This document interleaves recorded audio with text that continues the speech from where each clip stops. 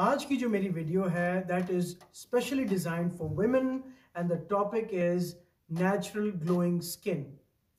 are you somebody who has to apply makeup for the smallest of things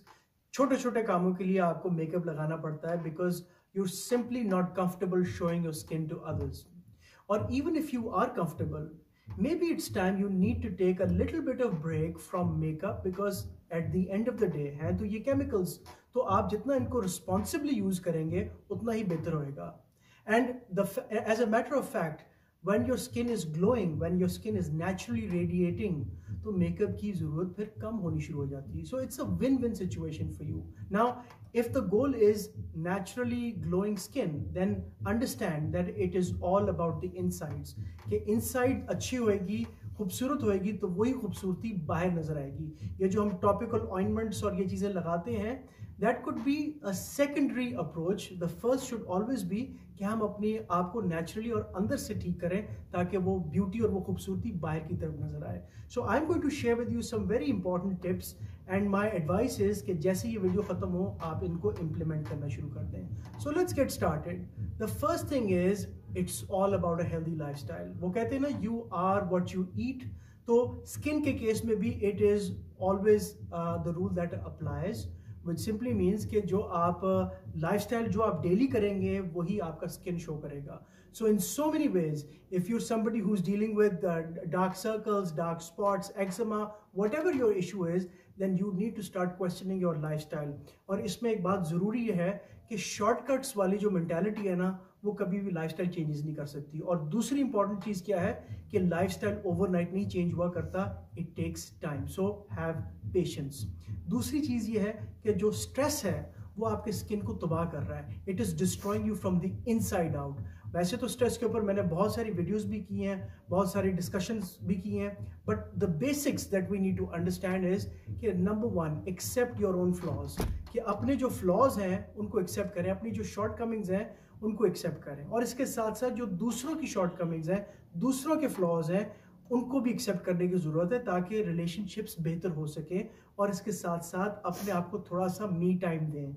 press the pause button के जो आप rest और recovery में लगाएँ that is much needed for your hormonal balance इसके साथ साथ नींद को भी ठीक करने की ज़रूरत है। Sleep is so important for overall health and specifically your skin that I could go on talking about it but to keep things short and simple ये जो ह्यूमन ग्रोथ हार्मोन है एच जी एच जिसके लोग बाहर टीके भी लगवाते हैं, ये आपका नेचुरली प्रोड्यूस होता है when you start prioritizing sleep rest and recovery so make sure you working on that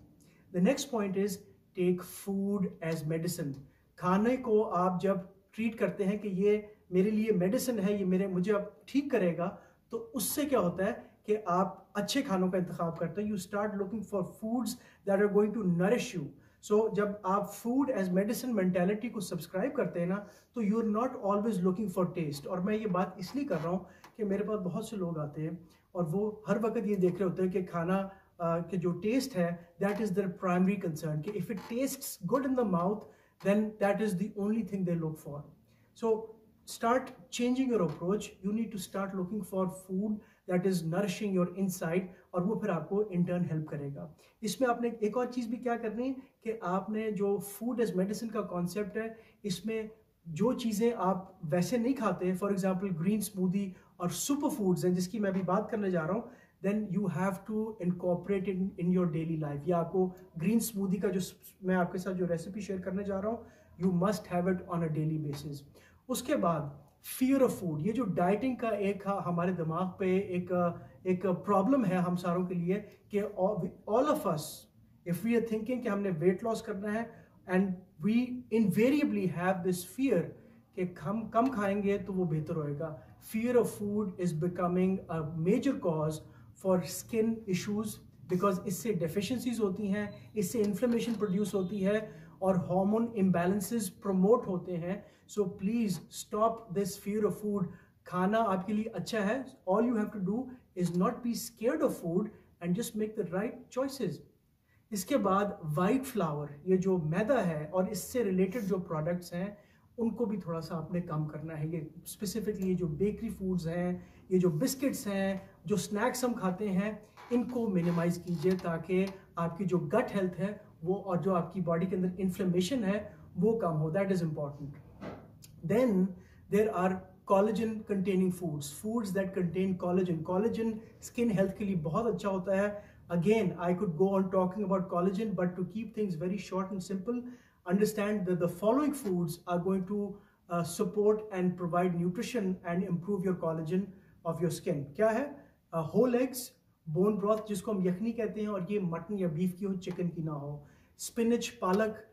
salad leaves cilantro धनिया cabbage cauliflower all these are termed as कि जो आपको कॉलेजन फूड्स हैं, जो आपके स्किन को नरिश करेंगे। उसके बाद जो स्मूदी है, जिसकी मैं पहले बात कर रहा था, उसका भी आप थोड़े से इंग्रेडिएंट्स सुन लें कि ये ideally you should be having it on a daily basis और ये निहार मुँह लेनी है आपने। So empty stomach is what is going to do the best work for you और इसके इंग्रेडिएंट्स क्या होंगे? आपने थोड़ा सा चुकंदर बीटरूट लेना है जिंजर लेना है एप्पल लेना है स्पिनिच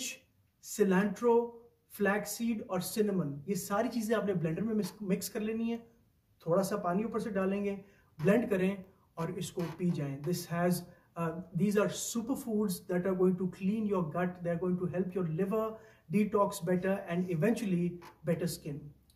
उसके बाद bloating no discussion about skin is complete without a discussion on bloating और जब हम ब्लोटिंग की बात करते हैं तो हम फ़ूड इंटॉलरेंसेस की बात करते हैं फ़ूड एक्सक्लूजन्स की बात करते हैं, यानी कि ऐसे खाने जिनसे आपकी बॉडी के अंदर रिएक्शंस होते हैं। बहुत से लोग कुछ ऐसी चीज़ खाएँगे, उससे उनको ब्रेकआउट होना शुरू हो जाएगा या और कोई ऐसा सिम्टम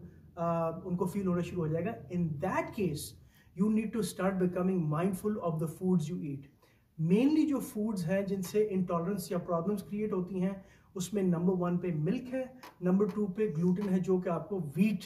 और ओट्स से आपको मिलता है। बाकी हर बंदे की एक्सक्लूजन लिस्ट या फ़ूड इंटॉलरेंस की लिस्ट फ़र्क होती है। So you have to become mindful and see कि किस खाने से मुझे क्या इफ़ेक्ट होता है। जैसे जैसे आप इन इन खानों को अपनी डाइट में से मिनिमाइज करना शुरू कर देंगे आप वैसे देखेंगे कि आपके सिम्टम्स और आपकी स्किन की क्वालिटी बेहतर होती जा रही है। इसके बाद probiotics and prebiotics very important probiotics क्या है कि जो हमारे बॉडी के अंदर जो गुड बैक्टीरिया है गट के अंदर उस उस आ, की तादाद को बढ़ाने के लिए हम प्रोबायोटिक सप्लीमेंट लेते हैं। और जो सप्लीमेंट आप लें इन्वेस्ट इन इट और ये आपका मिनिमम एट बिलियन से शुरू होना चाहिए। इससे कम को होएगा तो उसका इतना असर नहीं पड़ेगा। And then there are prebiotics prebiotics क्या है कि ये ऐसे खाने हैं कि जो आपके, हमारी गट के अंदर जो ऑलरेडी गुड बैक्टीरिया है, उसकी खुराक है। ठीक है? तो उसमें कौन से कौन से खाने आ जाते हैं? Apples dandelion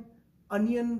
garlic and white rice that has been cooled overnight रात को आपने बनाया, उसको कूल ऑफ़ किया और वो आपने ठंडा खाया। That is a prebiotic food उसके बाद lastly liver health is also very important liver is please do understand it's a detoxifying organ इसकी हेल्थ के लिए आपको चुकंदर यानी कि बीट रूट और मिल्क थिसल ऐड करने की ज़रूरत है so I given you a list of things that you need to implement and like I said in the beginning natural skin is the way to go because once you start working on this आपको इसका result नज़र आना शुरू हो जाएगा so this time round give your skin the gift of naturally radiating from the inside out.